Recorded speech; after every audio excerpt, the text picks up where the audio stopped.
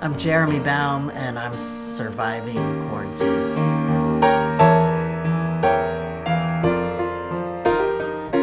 At first, it was really just a, a big um, feeling of identity loss. Like, uh, what am I doing? What what am I?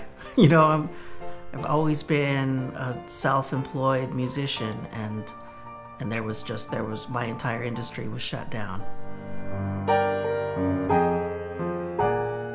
My first moves for my own sanity was to um, try to learn something that I had put off learning because all I had was time by myself and uh, I have a Hammond organ with bass pedals.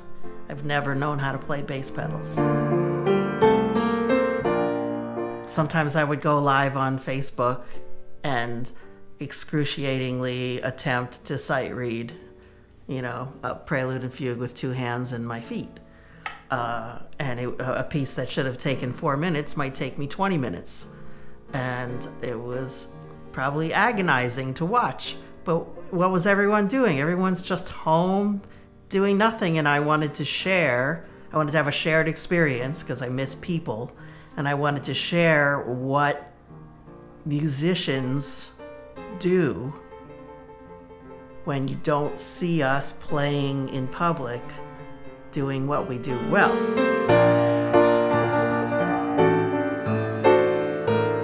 There's this piece, um, Hymn to Freedom, by um, Oscar Peterson.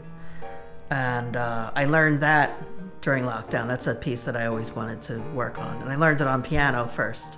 Uh, and of course, Oscar Peterson played it on piano. But then I, one day I just sat at the organ and I started playing that piece and I started playing the bass with my foot. And I was like, oh, that's not that hard. And it sounded really good. So, I mean, that was a very positive little journey that I took by myself during lockdown to stay in touch with what it means to be a musician, you know, challenging yourself and trying to do things that are not easy.